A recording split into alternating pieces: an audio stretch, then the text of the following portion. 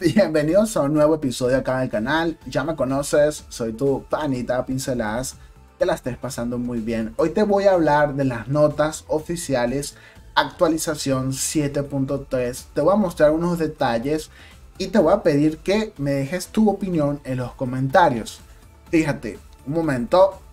Hoy vamos a hacer un sorteo de 5 tifo. Así que de una vez ve dejando tu ID y tu plataforma. El sorteo se acaba mañana. Mañana selecciono a los ganadores. Recuerden que hay una lista de ganadores pública donde puedes ver a todas las personas que han ganado en el, en el, en el canal. Y te voy a dejar también el enlace del sorteo de Saori Gaming para que vayas y participes. Ok, vamos a comenzar con esto, gente.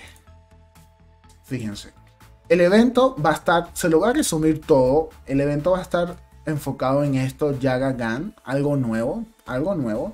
De verdad, jamás los había escuchado, quizás existen, no sé. Déjame en los comentarios.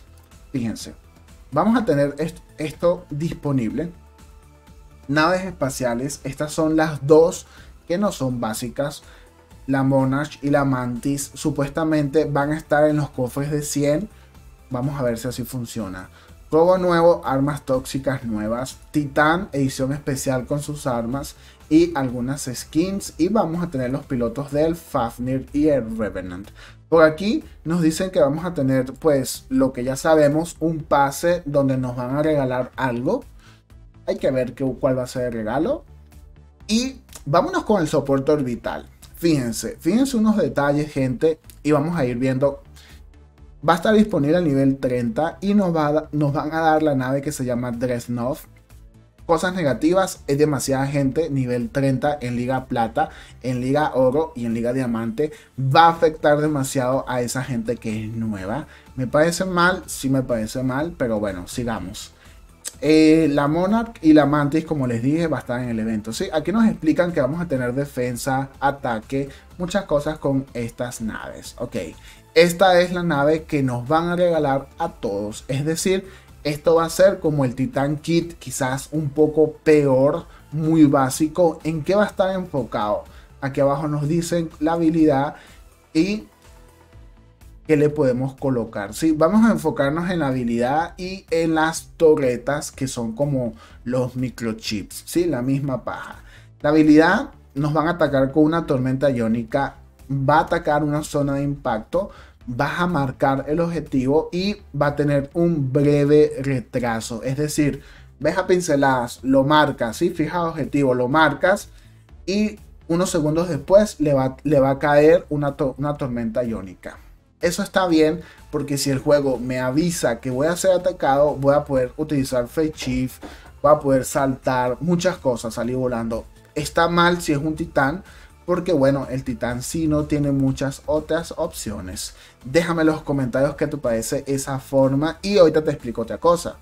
Y va a tener ranuras ofensivas para que hagas más daño. La monarca ya nos dice que tiene mejores características que la otra, sí. Prácticamente aquí nos dicen, fíjense, suele superar a los acorazados en potencia de fuego.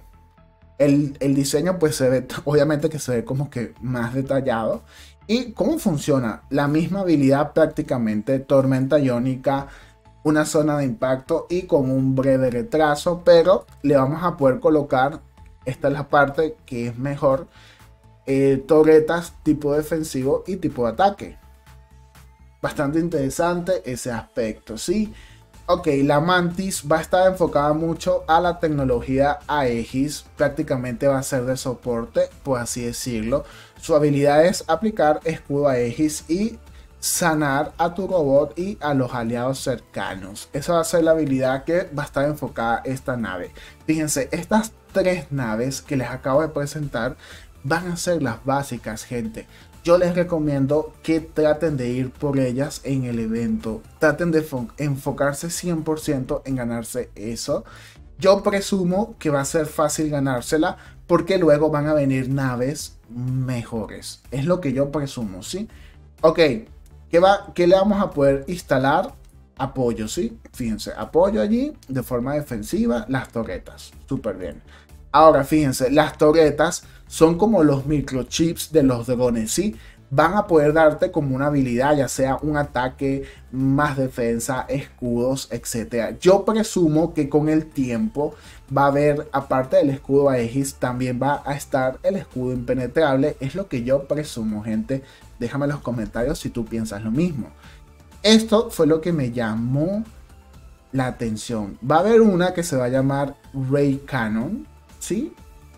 Y fíjate, el objetivo no se, no se puede evadir el impacto, ¿sí? O sea, el objetivo no puede evadir el impacto. Es decir, lo marcas, lo atacas y sí porque sí va a recibir ese ataque. Ya las cosas están cambiando porque antes la, nave nos avisaba que íbamos a ser atacados, ¿sí? Nos marcan, nos avisan y podemos hacer algo. Acá, pues no podemos evadir ese, ese, ataque. Me imagino que con Face Shift o algo así sí va a funcionar. Pero ya nos van a atacar, sí, porque sí, sí. Y vamos a tener una estación o una torreta de estación de sanación y una que utiliza como escudo a Aegis. Bastante interesante. Eso, el soporte lo veo interesante, más no lo veo tan chetado. Depende de cuántas veces se puede activar. Ok, acá nos dice cómo va a funcionar. Fíjense, ahí vamos a poder. Tenemos el objetivo marcado, tenemos ya disponible el soporte vital y lo aplicamos, ¿sí? Ojalá que esto funcione, gente. Déjame en los comentarios si el sistema de apuntado funciona o no funciona. Con el Nodens no funciona, con el Demeter es una locura, tampoco funciona y a veces jugando es una vaina loca, ¿sí?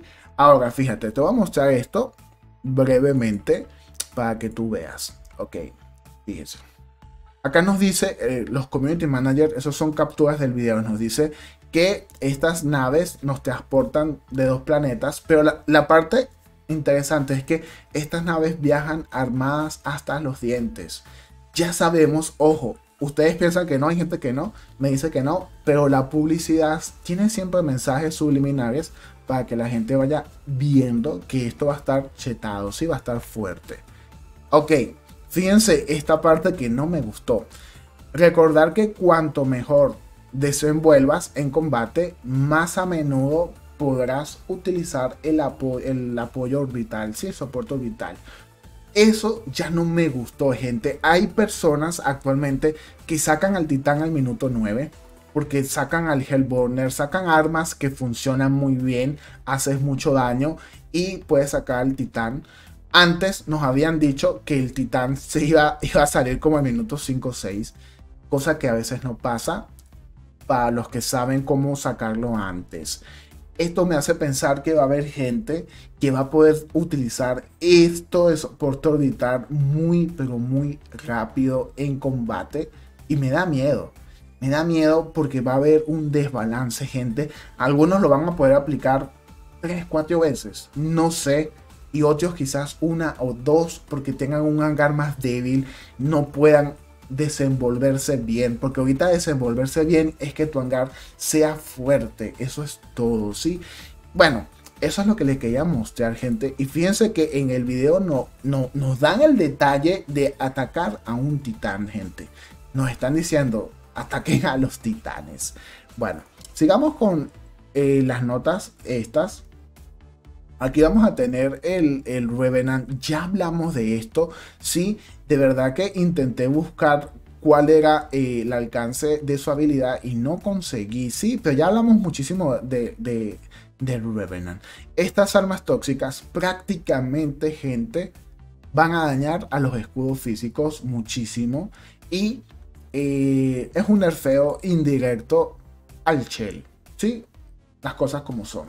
Ahora, tenemos a los pilotos nuevos. El piloto nuevo del Fafnir traspasa los escudos.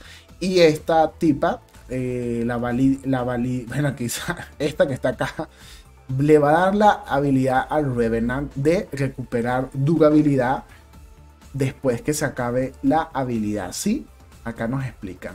Aquí nos dice que la cantidad depende del daño infligido, ¿sí?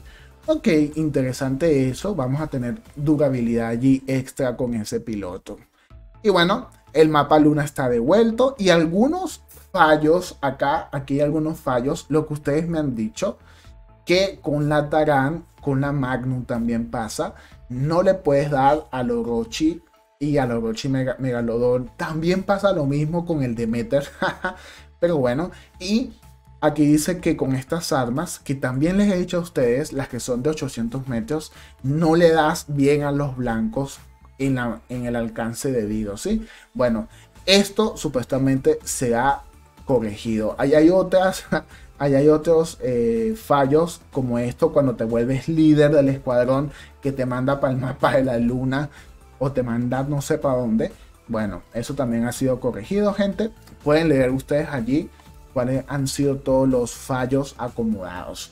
Eso es lo que le quería mostrar, gente, de verdad. No me gustó esa parte de que dependiendo de cómo yo me desenvuelva, voy a poder activar el soporte orbital más veces. Esa parte no me gustó. No sé si no la entendí bien. Déjame en los comentarios qué entendiste tú.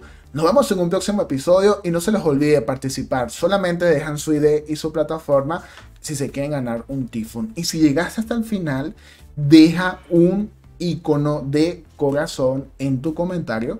¿Sí?